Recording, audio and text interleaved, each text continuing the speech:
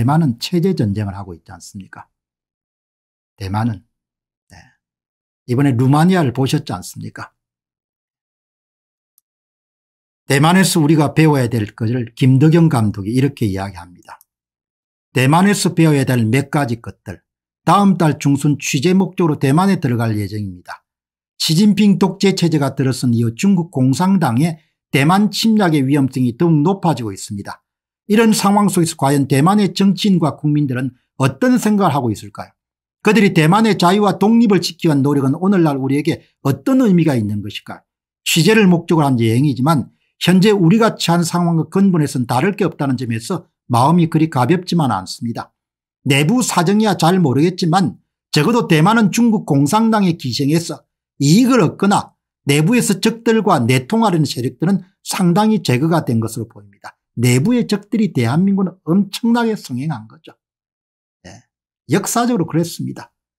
중국에 줄을 대가지고 일가의 호의호식을 꾀하는 세력들이 많았고 그것은 한군의 피 속에 맹맹히 흐르는 겁니다. 지난 5년 동안 친북 친중 공산주의를 지향하는 정권을 경험한 우리에게 대만의 행보는 타산지석처럼 배울 것이 있을 것입니다. 그렇게 대만에 관한 리서치를 하는 가운데 얼마 전 한 대만 출신의 기업인에 관한 놀라운 소식이 있어서 공유하고자 합니다. 차오 싱청 대만에서 반도체 사업을 최초로 시작했던 기업인에 관한 이야기입니다. 대만 반도체 대부가 싱가포르 국적을 버리고 대만 국적으로 회복했다. 대만 TSMC 공동 창업자이자 반도체 대부로 손꼽히는 차오싱청 전 회장이 싱가포르 국적을 포기하고 대만 국적으로 회복했다고 합니다. 그런 단지 국적 회복에 그치지 않고 중공에 맞서 대만의 국방력과 방공전선을 강화하기 위해서 30억 달러 약 1260억 원의 자금을 기부했습니다. 우리나라 기업인들이 좌우의 눈치를 보며 이것도 저것도 아닌 행보를 보이는 것에 비하면 정말 놀라운 실천이 아닐 수 없습니다. 그는 자신의 자금이 대만 지역 방위를 위한 민간인 사병 30만 명을 양성하고 정부군과 협력해 3년 내에 300만 명의 흑곰 용사를 양성할 계획이라고 합니다. 흑곰은 대만을 상징하는 동물이기도 합니다. 실제로 중국 공산당은 21세기에 들어서 전량 외교 즉 늑대 전사 외교를 포방했습니다. 이전에 합리적 사고를 기반한 덩샤오핑의 도광향의 신의 능력을 숨기고 어둠 속에서 감춘다는 전략과 달리 집단적인 전투를 강조하는 호전적인 외교 방식입니다. 대만의 흑곰 용사는 바로 중공의 늑대 전사에 맞서기 위한 강력한 방공 의지를 보여주고 있는 것이라고 생각합니다. 차오 회장은 용감한 대만인들과 함께하고 중공 침략에 대항하여 국토를 수호하겠다. 미국처럼 대만이 자유의 땅이 되고 용감한 자의 고향이 되어야 된다고 기자회견에서 자신의 국적 회복의 의미를 강조했습니다. 이에 중국 공산당도 날카로운 반응을 보였습니다. 중국 관영 언론 환구신보는 인민해방군이 대만을 침공하면 대만 독립 분자를 싸그리 없애버릴 거라고 했고 지난 5월 주 프랑스 중국 대사 중국이, 중국이 대만을 통입한 이후에 대만인을 재교육할 것이라면서 중공의 재교육은 대만인을 계속 고문하고 괴롭혀서 그들 앞에 복종하고 감히 저항할 수 없도록 하는 것이라고 강조하게 됐습니다. 한국 사람들 잘 보시기 바랍니다. 대한민국의 좌익들이 어떻게 할 것인지를 그냥 그대로 이야기를 하는 겁니다. 저는 그냥 좌파가 아닙니다. 그냥 좌익이라고 이야기를 하는 겁니다. 그들이 그들과 여러분들 중국과 여러분들 어떻게 손을 잡고 어떻게 이런 대한민국을 요리하겠습니까 그래서 이런 그 수단 중에 가장 비용이 적게 들고 효율적인 수단이 뭡니까 선거를 도둑질하는 겁니다. 반복적으로 도둑질하는 겁니다. 윤석열 정권은 선거 부정 문제를 다루지 않을 겁니다. 그래서 여러분들 2024년 총선과 2026년에 대선에 패배할 겁니다. 그리고 좌익들이 다시 정권을 장악할 겁니다. 두고 보시기 바랍니다.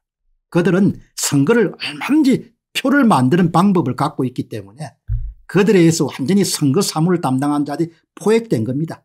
특정 지역과 특정 노동단체 출신들로.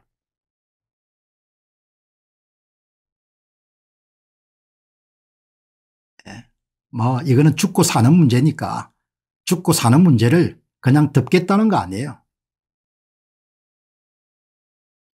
주변국들과의 공생보다 폭압적인 전제 완정을 세우는 시진핑 체제에 대해서 이미 전 세계인들은 비판의 목소리를 내고 있습니다. 그런 상황 속에서 대만의 기업인들과 정치인들이 보여주는 행보는 우리와 사뭇 달라 놀랍기도 합니다. 예. 우리는 뭐 여러분들 그 저 국기 들고 나서 환영하겠죠. 총 안 들 겁니다.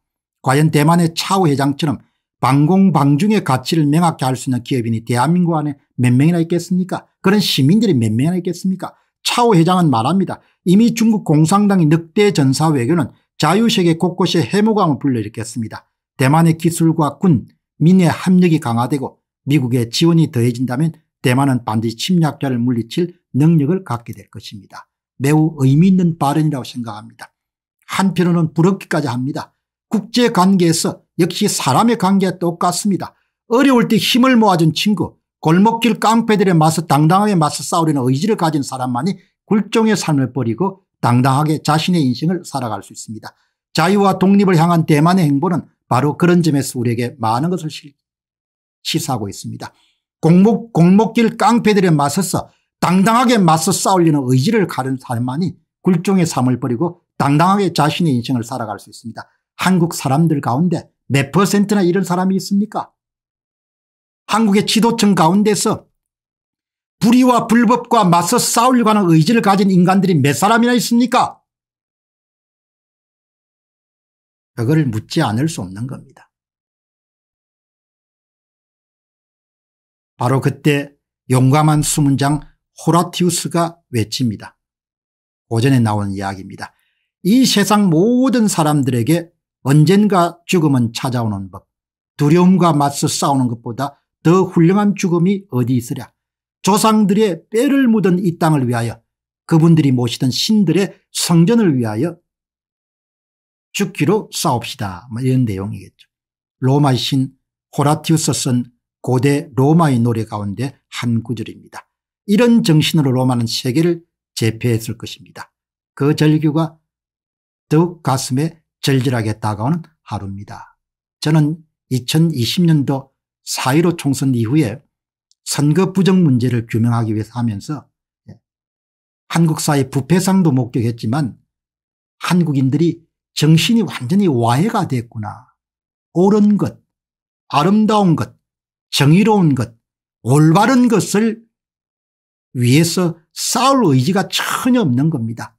싸울 기계도 없고 싸울 결기도 없고 싸울 결의도 없고 싸우려고 하는 의지가 없는 겁니다. 그게 여러분들 복원이 참 만만치 않은 일입니다. 그래서 다들 어마어마한 이런 불법과 불의에 대해서 침묵하는 겁니다. 심지어 대통령까지 이런 그 어마어마한 불법과 불의에 대해서 계산줄을 튕기고 침묵하는 겁니다. 그러니 다 된 거죠.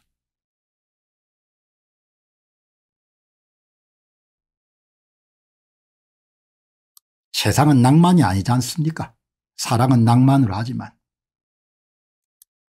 자기 체제를 지킬 의지가 없는 국민들이란 거죠.